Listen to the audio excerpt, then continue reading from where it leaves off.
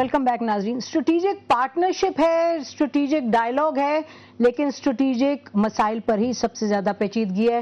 शरी कह रही है इन फॉर टफ टाइम्स बिल्कुल सही कह रही हैं, और इसके पहले मैं मलिया के कमेंट्स पर मेरी एक ऑब्जर्वेशन है कि ये स्ट्रेटेजिक डायलॉग है, ये स्ट्रेटेजिक रिलेशनशिप नहीं है। उसकी वजह यह है कि स्ट्रेटजिकली हमारे मेजर डिफरेंसेस हैं। और जब आपके डिफरेंसेस होते हैं तो सिर्फ़ टैक्टिकल प्लेन पर आप कॉपरेट कर सकते हैं। आप स्ट्रेटेजिकली पार्टनर कभी नहीं रहे हैं डॉक्टर मलिया लोधी एग्री करेंगे जी जी बिल्कुल। नहीं, मैंने तो ये भी लिखा, लिखा भी है हाँ नहीं वही मैं नहीं। Strategic about thirteen tracks of engagement exactly exactly कोई समझा दे मुझे और तेरह ट्रैक्स बना के क्या चीज़ स्ट्रेटेजिक रह जाती है? नहीं और आप देखें इसीलिए सारे डायलॉग की फोकस उनके तरफ़ जो है वो अफ़गानिस्तान और आर्मी चीफ हमारे और हमारे सारे मिनिस्टर्स और डेलीगेशन तेरह लेकिन अमेरिकन चाहते थे वो मतलब ये तो नहीं और इन्होंने भी कहा मलिहा ने भी कहा हम भी वही चीज़ रिपीट कर रहे हैं कि हमारे जो बिग टिकट्स आप कहें ये प्रायोरिटी आइटम्स कहें उस पर तो वो रिजेक्ट कर देते हैं पब्लिकली भी करते हैं प्राइवेटली भी करते हैं। तो ये स्ट्रेटेजिक डायलॉग तक ही कन्फाइंड रहेगा ये रिलेशनशिप तक नहीं पहुँच सके बावजूद है कि ठीक है ओबामा की एक्सप्रेशन जो है वो बुश से बहुत बेहतर है और पब्लिकली वो बात करते हैं कि जी म्यूचुअल ट्रस्ट होनी चाहिए म्यूचुअल रेस्पेक्ट होनी चाहिए। और क्लिंटन के प्रेस कमेंट्स में आप देखिए उन्होंने कहा कि वॉर एंड टेरर में पाकिस्तान से ज़्यादा क्लोज हमारा बड़ा उन्होंने स्पेसिफिकली डिफाइन हाँ, किया है बिल्कुल। ये लोगों को फोकस और आपके फॉरेन मिनिस्टर ने क्या कहा? उन्होंने शुक्रिया अदा किया सेक्रेटरी क्लिंटन का for providing leadership he is a thorough gentleman तो ऑब्वियसली एक लेडी फॉरेन मिनिस्टर वो भी यूनाइटेड स्टेट्स की नहीं और तो कब you don't get carried away वो तो he got carried away he got carried away ने तो देखिए ने अगर once you get grey hair like me you don't get carried away he also has grey hair हाँ अच्छा नहीं और न सिर्फ़ ये अब आप देखिए प्राइम मिनिस्टर साहब ने कल कंफर्म किया कि जनरल मुशर्रफ ने ड्रोन अटैक्स की इजाज़त दी थी सिर्फ़ रेकी की यानी बम्बार्डमेंट की इजाज़त इन्होंने दी है। ओबामा की इट इज़ अंडरस्टूड किताब आई है बॉब वुडवर्ड क्या कह रहे हैं? नहीं बॉब वुडवर्ड ने कहा कि दी है नहीं इन्होंने कहा कोई हुकूमत बम्बार्डमेंट की इजाज़त अरे आपके सदर साहब ने तो कहा कि हमें कोई फ़िक्र ही नहीं आप कोलेट्रल डैमेज करते जाइए पाकिस्तानी मरते हैं तो मरे। डॉक्टर मलिया प्लीज़ कमेंट टू किसी ने डिनाई नहीं किया आपने भी नहीं डिनाई किया है तो आपके टिकट आइटम्स पे हम कहीं नहीं जा रहे ये स्ट्रेटेजिक तो रिलेशनशिप हो ही नहीं सकती। तो आपने खुद जैसे कहा कि तेरह जो ट्रैक्स हैं, वो तो एग्रीकल्चर पानी एनर्जी अहम है हमारे लिए पाकिस्तान के लिए। लेकिन जो बुनियादी चीज़ है, उस पर जो बुनियादी मसाइल है big ticket items there is no light at the end of the tunnel देखिए, मैं दो दो चीज़ें कहूँगी इस पे।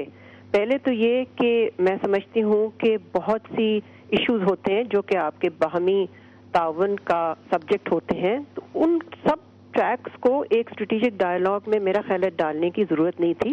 बिकॉज़ इसका फिर खतरा ये होता है कि जो असल आपके कोर इश्यूज़ हैं जो वो जो है उससे फोकस डाइल्यूट हो। जाता है और स्कैटर हो जाता है। तो ये खतरा जिस तरह से ये डायलॉग स्ट्रक्चर हुआ है उसमें ज़रूर है। लेकिन लुकिंग अहेड अगर हम आगे देखें इन ताल्लुकात को तो मैं समझती हूँ कि तीन एरियाज़ ऑफ़ पॉलिसी हैं जो कि डिटर्मिन करेंगे इस रिलेशनशिप को आगे जाके। और अभी भी कर रहे हैं।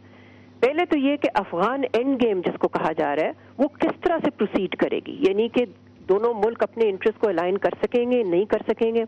नंबर दो जो ट्रायंगुलर रिलेशनशिप है अमेरिका हिंदुस्तान और पाकिस्तान की हम्म। आया वो किस तरह से प्रोसीड करेगी और वो इन हमारे बाहमी तल्लुकात पे असरअंदाज होगी हिंदुस्तान और ख़ास तौर पे सदर ओबामा जो अब हिंदुस्तान जा रहे हैं आया वो कश्मीर की कोई बात करते हैं चाहे पब्लिकली चाहे प्राइवेटली और तीसरा पॉलिसी एरिया मैं समझती हूँ जो कि हावी होता है असरअंदाज होता है हमारे तल्लुकात पे वो है US policies towards the Muslim world यानी कि मुस्लिम दुनिया कि उन क्या पोजीशन इख्तियार करते हैं? तीन आपने इश्यूज़ रेज किया बिल्कुल मैं एग्री करता हूँ मगर हमारे लिए एक चौथा भी बड़ा इंपॉर्टेंट इशू है कि अमेरिका चाइना के साथ किस किस्म के ताल्लुकात पैदा करता है और उसके फॉल आउट हम पर क्या होंगे? जी आप बिल्कुल अच्छा, अच्छा तो शरी आप ये बताएँ कि अगर इकोनॉमिक जो सपोर्ट कर रहा है आपकी अमेरिका अगर वो पुल बैक कर ले फिर? जी पुल बैक तो किसी भी वक्त कर सकता है ये हो सकता है। और माजी में आपने देखा है कि कितनी सेंट्रल है वो आपके लिए कितनी बहुत से प्लेजेस किए गए हैं और फिर बाद में होता है कि जी, वो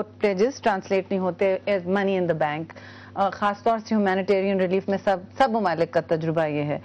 हमारा ह्यूमैनिटेरियन रिलीफ से अलावा भी एक इशू है और हमें ये बहुत वाजे केस बनाना पड़ेगा कि हम रिकंस्ट्रक्शन और रिकवरी के लिए हमें 10 अरब डॉलर से ज़्यादा चाहिए। जो वर्ल्ड बैंक का शायद असेसमेंट है हमारी इंडिजिनस नीड्स असेसमेंट भी होनी चाहिए। दूसरी बात ये ज़रूरी है कि हम अपनी चादर उतनी फैलाएँ जितना हम अब देख रहे हैं कि हमारे हालात क्या हैं।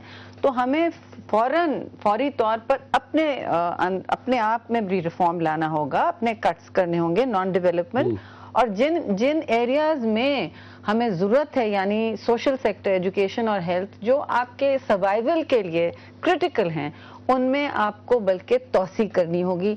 लेकिन इस वक्त तो एक सर्वाइवल की इकोनॉमिक सर्वाइवल का मसला बना हुआ है और डेवलपमेंट जहाँ तक का ताल्लुक है। देखिए अमेरिका का एक और मैं आपको बताऊँ।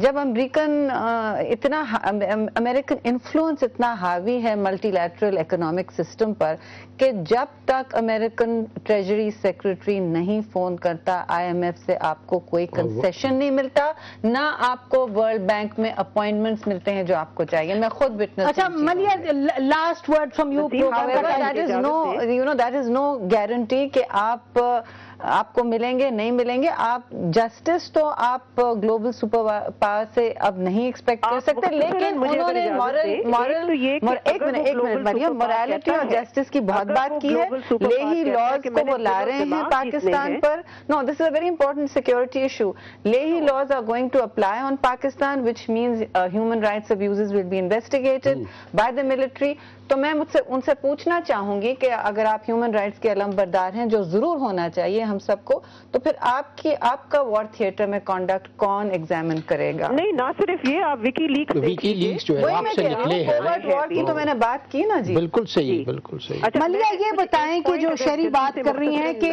अल्टीमेटली अगर आपको सपोर्ट मिलनी है from I F I international finance institution तो अमरीका की नॉट के बगैर नहीं मिलती। ये कितना ज़्यादा फैक्टर है जो इन्फ्लुएंस करता है हमारे पॉलिसी मेकर्स को when they engage with America सवाल का इस तरह से जवाब दूँगी कि हमारी जो रूलिंग एलीट है और इसमें सब शामिल हैं, उनका इतना डिपेंडेंट माइंडसेट हो गया है कि पहले तो वो शुरू ही यहाँ से करते हैं कि जी बाहर से कितना आएगा। आपका फॉरेन पॉलिसी का पैराडाइम उन्होंने ये बना दिया है और मैं समझती हूँ कि हम पब्लिक ओपिनियन को मिसलीड करते हैं बिकॉज़ हर दफ़ा हम ये सोचते हैं और सवाल करते हैं कि हमें क्या मिल रहा है।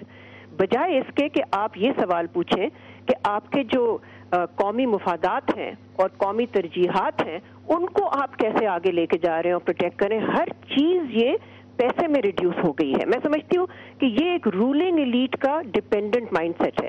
तारीख से मैं आपको एक एग्जांपल देती हूँ। नाइन्टीज में, जबकि हम सैंक्शंस के नीचे थे। अब ये ज़रूर है कि उस वक्त इतनी सूरत हाल नहीं थी, हमारे खत्ते में इतनी जंग नहीं हो रही थी, और तवील जंग इतनी नहीं हो रही जितनी कि अब हो रही है। लेकिन फिर भी मैं समझती हूँ कि हमें उससे भी कुछ इतमाद अपने आप पे होना चाहिए कि ये सैंक्शन लगे दस साल पाकिस्तान पे तो क्या हो गया? इसका ये मतलब तो नहीं कि पाकिस्तान में मुआशी हो गया था। एलीट के अलावा आपने ये नोटिस किया है कि हमारी जो फाइनेंशियल इंस्टीट्यूशन खुद है वो सारे अमेरिकन में तो आपकी अमेरिकन हैं। मिलिट्री आपकी फाइनेंशियल प्रोग्राम का टाइम खत्म हो गया आप लोगों का बहुत शुक्रिया मलिया बहुत शुक्रिया। आपका नाजरीन इसी पर आज का प्रोग्राम खत्म करते हैं। पाकिस्तान अमेरिका का जो थर्ड राउंड है स्ट्रेटेजिक डायलॉग का वो खत्म तो हो गया लेकिन उसके नतीजे में सवालत और ज़्यादा उठे हैं। सवाल कम नहीं हुए। आने वाले दिनों में हमारी नज़र रहेगी इस पर बहुत शुक्रिया। खुदा हाफिज पाकिस्तान जिंदाबाद।